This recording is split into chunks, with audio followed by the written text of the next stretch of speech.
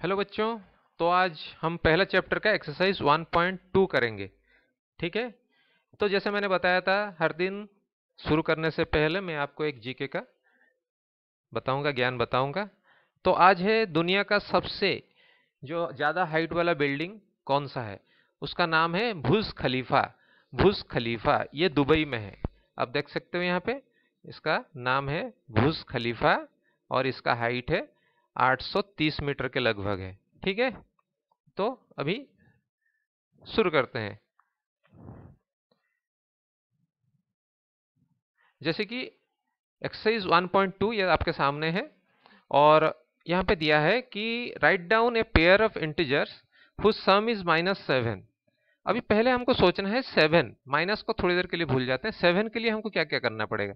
Suppose four और three, दोनों को प्लस कर देंगे।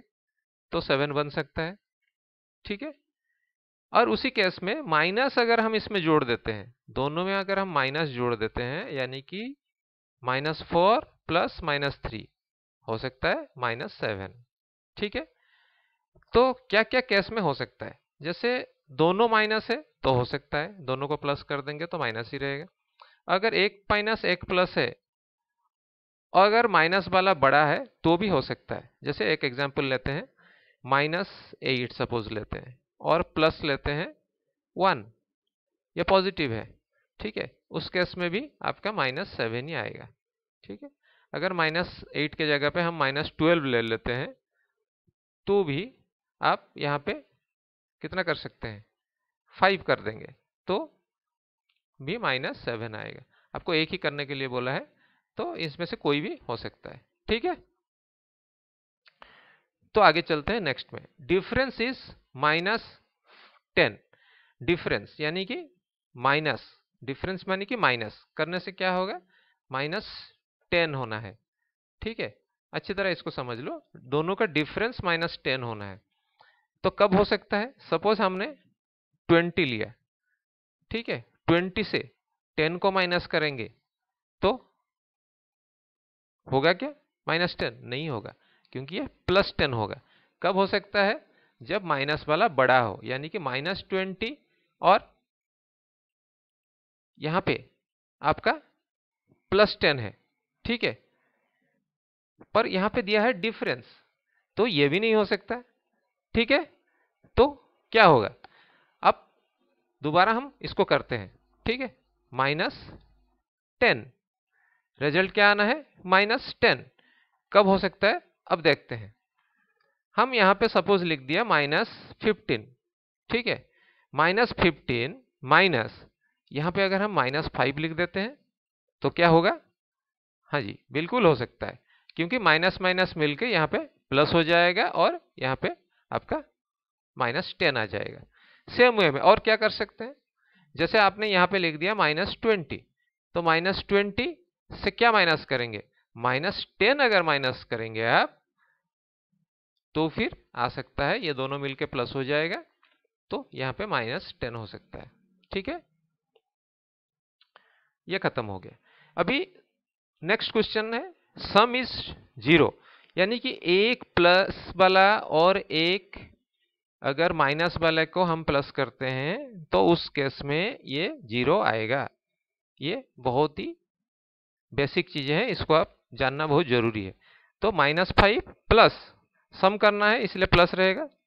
Plus five plus minus five, दोनों मिलके ज़ीरो। इस फाइव के जगह पे आप कुछ भी डाल सकते हो। एट डाल सकते हो, और यहाँ पे माइनस एट डालो। अगर यहाँ पे टेन डालते हो तो यहाँ भी माइनस टेन डालो। तो उस केस में, सारे केस में यहाँ पे ज़ीरो आ जाएगा। ठीक है? अभी नेक्स्ट क्वेश्चन में चलते हैं। Write a pair of negative integers whose difference is gives eight यानी कि दो नेगेटिव इंटीजर लिखना है, जिसका डिफरेंस आपको आठ देगा। ठीक है? तो उस केस में आप मान के चलते हैं, एक माइनस थ्री हमने लिख दिया, और एक डिफरेंस है। यहाँ पे ऐसा क्या लिखेंगे कि यहाँ पे प्लस एट आएगा। इसको ध्यान से देखिएगा। प्लस एट लाना है तो क्या क्या लिखना है इस पर ऐसा कोई माइनस लिखना है जिसको ये मिलने से प्लस हो जाएगा, ठीक है? जिसको ये लिखने से प्लस हो जाएगा, यानी कि यहाँ पे अगर हम माइनस इलेवन लिख देते हैं तो फिर ये दोनों मिलके प्लस हो जाएगा तो प्लस इलेवन बन जाएगा, ये माइनस थ्री है तो ये प्लस एट बन जाएगा। सेम वे में इसमें अगर आप माइनस फाइव करते हैं तो माइनस माइनस यहाँ पे क्या हो जाएगा? आपका आठ पाँच तेरह, यानी कि माइनस थर्टीन। माइनस थर्टीन होने से आपका यहाँ पे आठ बन जाएगा। ठीक है? तो ये सॉल्व हो गया। Write a negative integer and a positive integer whose sum is minus five. Sum यानी प्लस करना है। रिज़ल्ट क्या आना है? माइनस फाइव आना है। ये चीज़ को आप आराम से समझिए। प्लस करना है। सम मतलब प्लस करना है और रिज़ल्ट आना है माइनस फाइव। ठीक है? एक नेगेटिव एक पॉजिटिव एक नेगेटिव एक पॉजिटिव माइनस फाइव आना है तो नेगेटिव वाला बड़ा होना ज़रूरी है। कुछ भी कर लीजिए माइनस बारह। तो प्लस वाला क्या होगा? उससे कम होगा, यानी कि सेवन ठीक है? तब निकलेगा। यहाँ पे अगर आप एट करना चाहते हो माइनस एट तो प्लस क्या हो जाएगा? थ्री हो जाएगा। तब भी आपका रिज़ल्ट आएगा माइनस फाइव ठीक है? ये भी हो गया। Write a negative integer and a positive integer whose difference is minus three difference यानी कि नेगेटिव कितना होगा? माइनस थ्री होगा। ठीक है? अब डिफरेंस है, एक नेगेटिव एक पॉजिटिव क्या कर सकते हैं? नेगेटिव को पहले लिखते हैं। सपोज़ यहाँ पे हमने लिख दिया माइनस टू छोटा है तो उसका छोटा लिख दिया। अब ऐसा क्या माइनस करने से एक पॉजिटिव लिखना है? यहाँ तो एक नेगेटिव हो गया, अब एक पॉजिटिव लिखना है। तो क्या पॉजिटिव लिखने से आपका माइनस थ्री होगा? अगर आप यहाँ पे वन लिखते हैं तो माइनस थ्री हो जाएगा। सेम वे में अगर यहाँ माइनस वन होता तो यहाँ पे आप टू लिखते तो भी माइनस थ्री होता, क्योंकि यहाँ पे डिफरेंस दिया है। ठीक है? क्या दिया है? राइट हुज डिफरेंस ठीक है? अब एक और दो खत्म हो गया। नेक्स्ट वीडियो में हम तीन नंबर क्वेश्चन के आगे करेंगे। So thank you stay tuned आगे देखते रहिएगा।